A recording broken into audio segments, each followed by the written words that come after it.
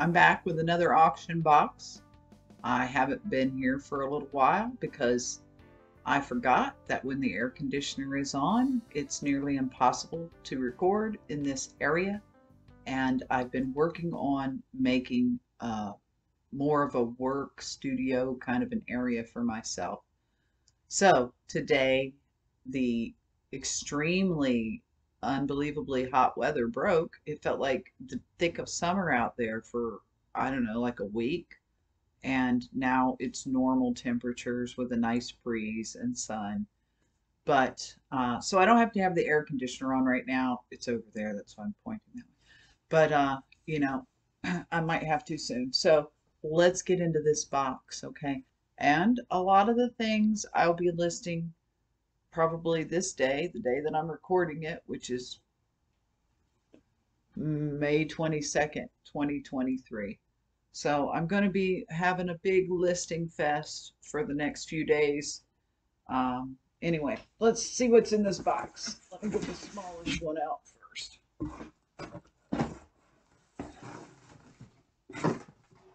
All right, so this was something that I thought was pretty cool. It says the Osbourne family. And it just on the back it says the family. See, it says the family. it sounds mafioso to me. So I think this is supposed to be Ozzy because of the the necklace. Uh, at the auction, oh, it's got their pictures on the sides. At the auction house, it sold this as new. Now I'm guessing it's because he's still strapped in, but there's no cellophane. Can you see? Yeah, there's no cellophane.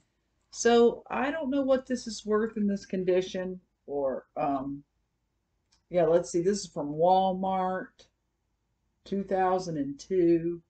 So I'll have to research that um, and, and decide if anybody's going to want it without the cellophane or if this is a better, you know, thing to hold on to for a Christmas gift for someone or something. Okay, and these are U-Read blue light blockers. And I think these have a plus value. Yeah, plus 3.50. Wow, plus 350. I, I might be able to use those, but you know, this might be better off uh, for someone else that, that needs this. Uh, I, I use a plus three when I'm doing the computer, which I have right here. And these are old bifocals, which don't work really well for the close-up stuff, but it works well enough. That way I can see the TV and see the computer. The TV's on the wall back there. And see the computer at the same time. That's why I like to wear these. All right. Oh, let me show you first before I start opening it. This is a bag of jewelry. Now, this is not fancy jewelry. This is probably just some kind of costume jewelry. Oh, that's pink. Okay, so this, oh, well, you know, I'm not sure if that's, that, that might be a hair doodad. I think that might be neat to put in your hair. The sounds it makes. I mean, I guess you could wear it as a bracelet too. But I think I would rather wear this as a hair doodad. That's kind of neat. I don't think I've ever seen anything like that. That's handmade. That's got to be handmade. And the beads on it, I don't know if you can tell. Yeah, the, the colors aren't coming out true on that. Let me see if I can turn the light towards it. Yeah, that's not helping. Anyway, uh, they're green and brown and orange, like a peachy orange. That's kind of kind of cool. All right, and this is just a, well, I say just a, but it's, you know, a pretty costume jewelry. The colors aren't coming out right because I don't have the best lighting right now. Alright. Oh, there's a set of something in here. These three bracelets all look the same. They're just basic, stretchy. You know, but these could be silver beads on here. So I will check that oftentimes silver shows up and it's not always marked. These are four bangle bracelets Um, this one, this one appears to be made of silver. You can tell by the petite, whatever. You can tell by the patina. So, and let's see, this one has some pink enameling or mother of pearl or something on it. So that's nice. And this one's a weird shape. Just a small bag of jewelry. It was called Lot of Beaded Jewelry, and I think I won this whole lot for $5. And this is like a teething necklace, something. Well, maybe not, because it's got these little, these are too small. You wouldn't want to use that on a teething necklace. Anyway, this is some tribal wooden. That's kind of neat, though. I like these wooden discs. All right, so there's a little bit of jewelry.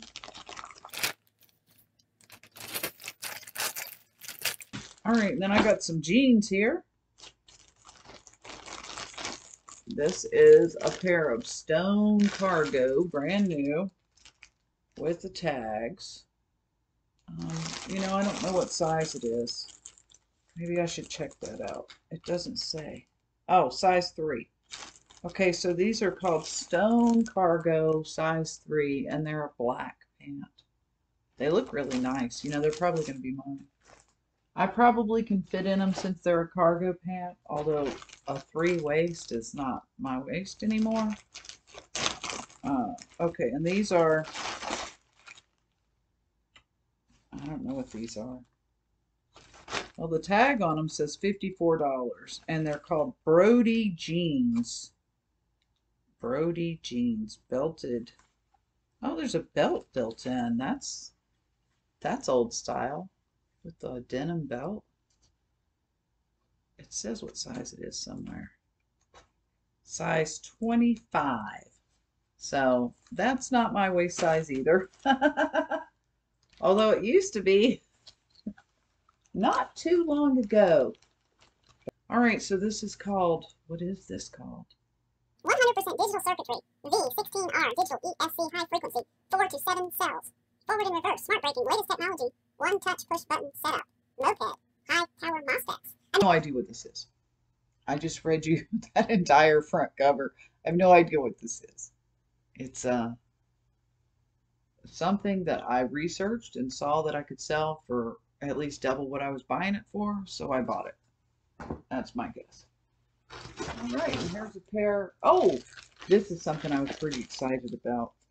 You know, I'm a child of the 80s. I was born in 1970. And Polo by Ralph Lauren was, you know, the deal when I was in seventh grade. When the first year when people started caring about brands and stuff like that, it was Polo. And I couldn't afford a Polo or you know my dad said we couldn't whatever. And uh, i really wanted one and i remember i cried. I used that trick. I cried to get my daddy to buy me a polo. So i had one polo shirt and i wanted to wear it every day but you can't do that. But anyway so when i saw a polo bucket hat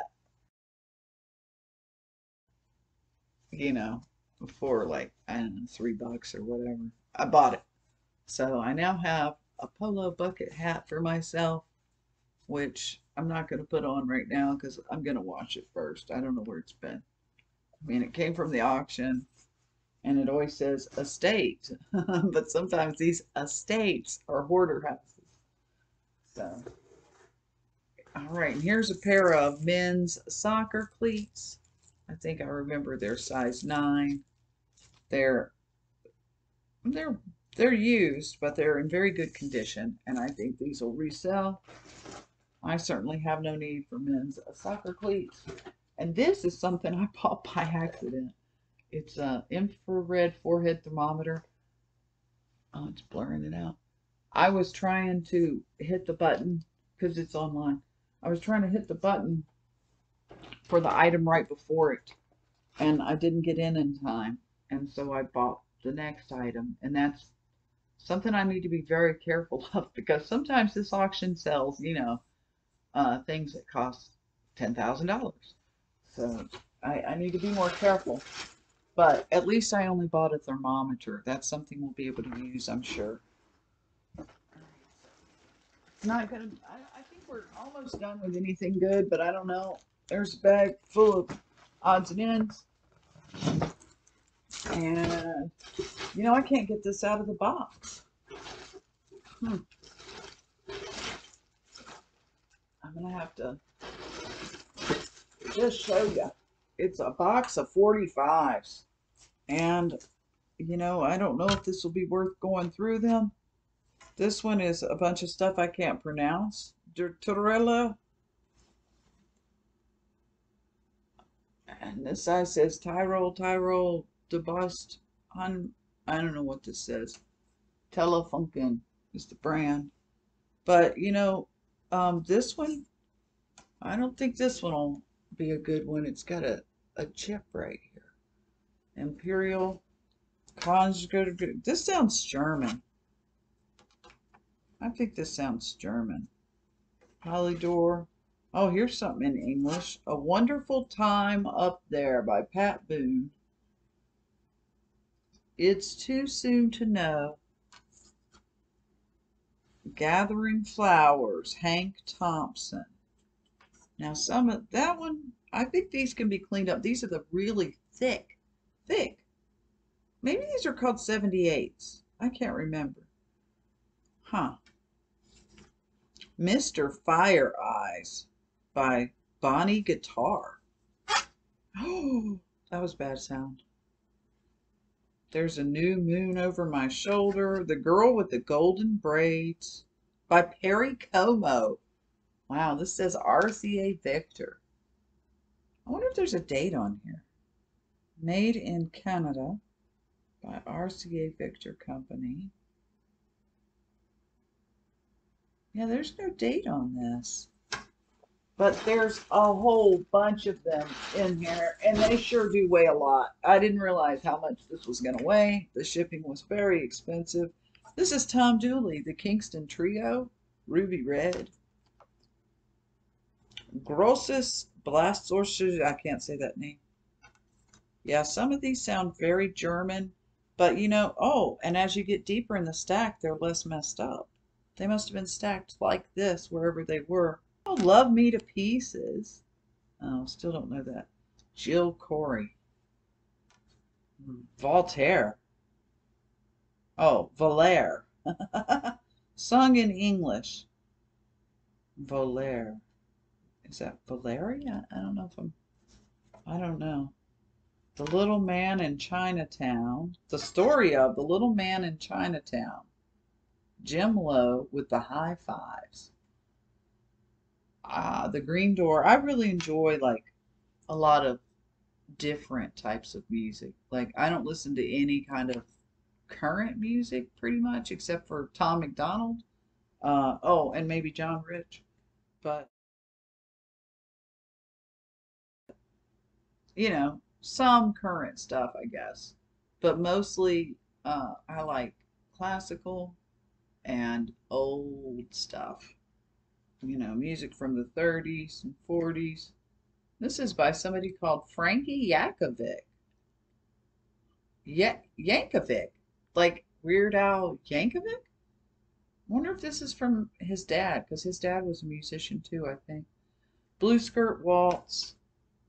Lie Detector by Arlie Duff with the Anita Kerr singers. Wow.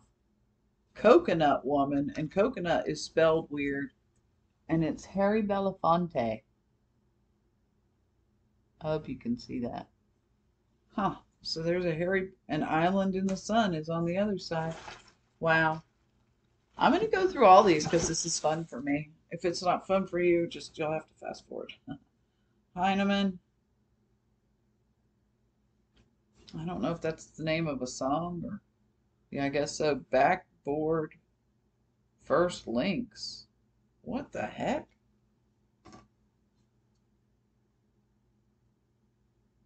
Starboard is to the left. Backboard first link. Starboard is to the left. Huh. Well, I tell you what, I don't know what's up with that. There is some tinier writing on there. I might get a date off these eventually. Uh, I'm going to just show you the one where it said the weird stuff. And I know I'm handling these, but there's already fingerprints on them, and my hands are very clean. Golden Jimmy Foxtrot, Bruce Lowe. Wind I saw shine in Texas. The Yellow Rose of Texas. Hmm. All right, more foreign languages. Lots of foreign languages. La Palamo. I can't read the rest of that. Si, si, senor by Gerhard Wendland. Medela Wind. I don't know. Something von Texas. Maybe that's the yellow rose one again. So what I was hoping for when you buy something like this, what you're hoping for is that you get, you know, like the first pressings, I think. I don't know, but I know that some of them of this size can be worth money. Uh, I think it's something about what color the label is that's on it. I don't know. I need to research it more, but I have a lot of records. And I've been holding on. Anything that I don't know for sure how to price it or what it's worth, I've been holding on to it. Hewitt, I can't, Hewitt Dean Stern. Yeah, these are all foreign records here at the end. There were a few that were not. Sugar Time by the McGuire Sisters, vocal trio. Banana Split. Oh, banana splits are good. I can't eat them. He's Got the Whole World in His Hands by Laurie London with Geoff Lowe or Love's Orchestra. Handed down. You Are Free. Love is Just a Game by Nelson Eddy. I know that name. Yeah, see, this is not licensed for radio broadcast. This one's actually in pristine condition. There are no fingerprints on this one. Some of them were better than others. This one's in wonderful condition. Wow, you can tell. I mean, to be so old. What's on the other side? When I grow too old to dream, from the film The Night is Young by Oscar Hammerstein and Sigmund Romberg.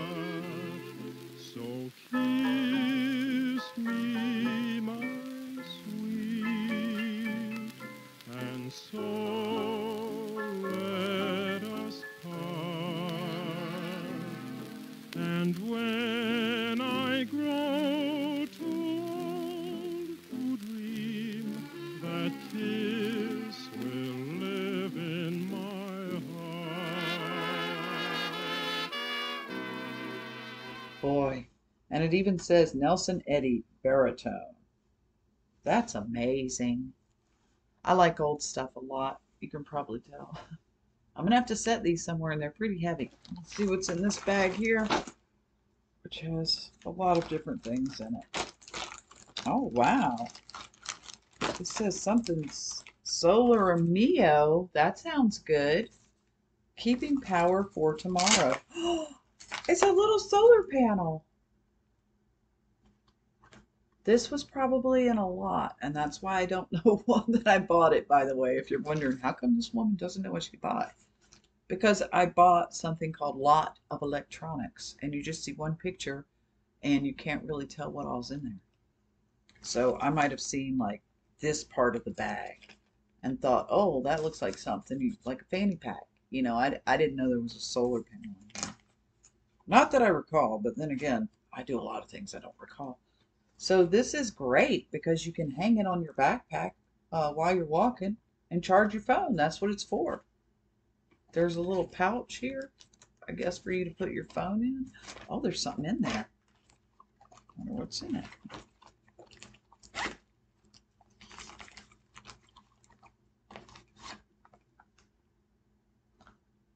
Well, I'll have to read about this. It's got a, a place for you to plug this into the ports.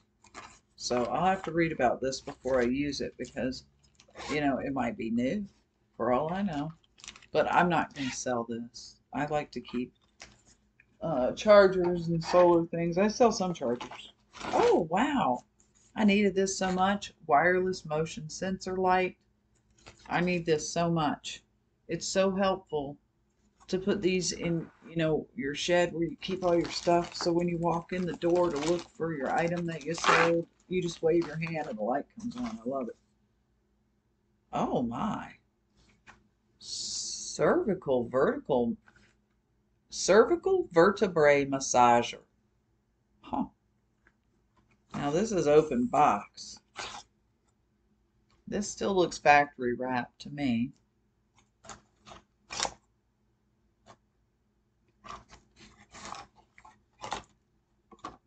Oh, okay. Well, these are the the contact pads. You know, I, I might have to use this. I have a TENS machine, but you know, I don't like the TENS machine. I don't I don't know if this is gonna be the same. But you know, I want more of a massager type thing. Not something that kind of electroshocks you, you know. Here's another motion sensor light. I never try to sell anything like that. Uh, that when you look online, you can find out that people can buy it for four dollars and there's a hundred and twenty-five thousand available or whatever. Stupid to try to sell things like that. This is circular solar outdoor indu induction lamp. Huh. There's the picture on the front. That's interesting. Another solar product. This is good. And it's brand new. Whatever it is, never been out of the package. Now, you know, some things, if I looked this up and it was something I could sell, I, I might sell it. I mean, I don't know what a I don't know what a solar induction lamp is used for. So, uh,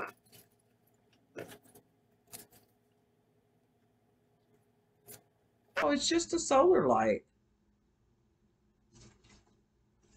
Well, great. Another light that you don't have to worry about putting batteries in. A couple more things in here. Now this says iPod Nano lanyard headphones. It says a UPC on it. I, I guess I have to authenticate that. Yeah, they've never been out of the package. This package does not look sealed, however. Let me see if it slides around. Yeah, the package is not sealed, and it's very dusty. You can probably see that. But there's like a a thing here at the bottom that they're laced through. So you can tell that this is factory. Factory sealed. Or never been used. anyway. Alright, so if those are iPod Nano, again, I might have to give those as a gift. Uh, my, my stepsons love iPods. They have more than one. I don't know what this is, but it's a large cable and it has ports on the end, you know, the red, the white, and the yellow, and a coaxial maybe? I'm not sure what that's for, we'll find out later. And this says, here's another electronic, a three-speed three speed switch. Well, Tricool 80. I think it's probably for a laptop. It's probably a laptop fan. And this might be something I could sell. Uh, it depends, like I said, on how many hundreds of thousands there are. I'll have to look. And this is, hmm. It's a no count cross stitch. No count cross stitch with a very pretty picture there. Kind of reminds me, is that, I don't know who that reminds me of. Oh, Pierre Georges Genois.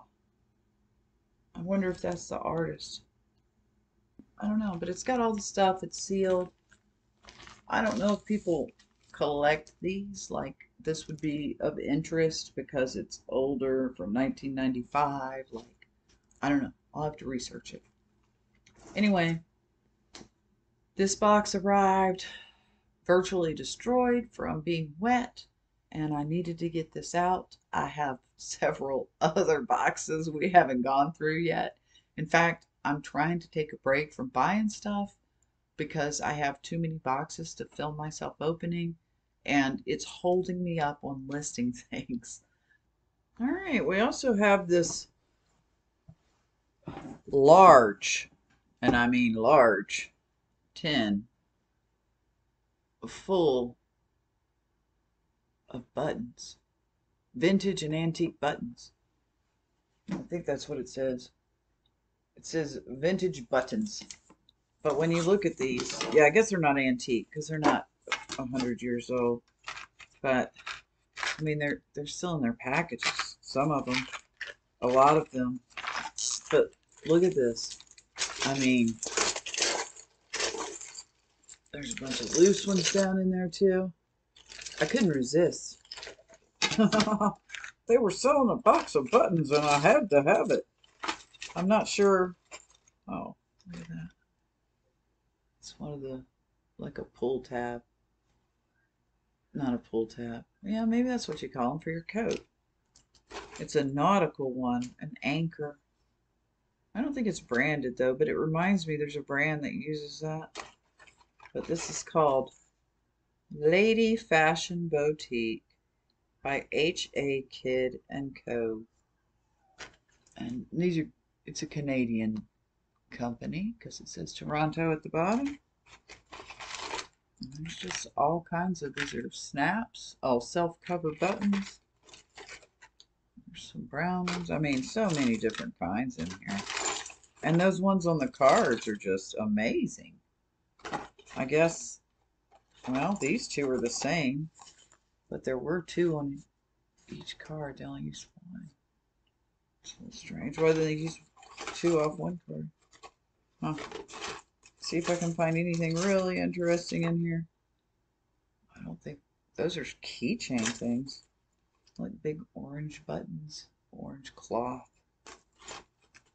Anyway, I had already recorded the whole video. Oh, here's a nice one. Got like the like the club. I don't know what I'm trying to say. Like yacht club. It's got like a yacht club looking, you know, private school, whatever. It's real pretty, man. Yeah, so I'll, there's some purple ones. It's hard to get the color right in here. I can't get the color right in here. I, I don't know what to do about the lighting. Uh, I'm just going to keep working on making a different place to film. You know, I said studio. These are like some mother of pearl.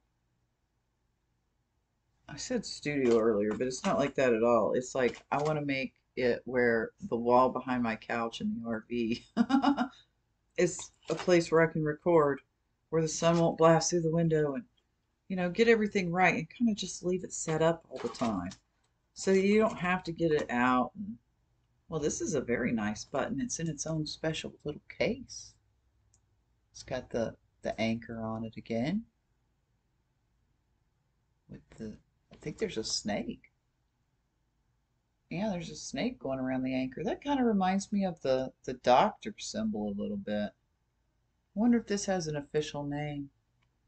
Like that one. Wow. That's a button, that's a weird looking button. what that is. Oh, there's a token. oh, darn. For a minute, I was hoping it was a silver coin stuck down in here. but it says Edmonton 1904 to 1979, mayor, alderman. Huh, I wonder if this is like a challenge coin or if this was like, I wonder if there's any more coins in here. Maybe nobody searched this. Or maybe they didn't care because this doesn't have monetary value really. All right, well, I'm going to look through this, and if I find any more coins, I'll put it in here, but I, I don't know that I will. I like to sort things and look at things, so I'm going to be playing with this for a while. Okay, bye.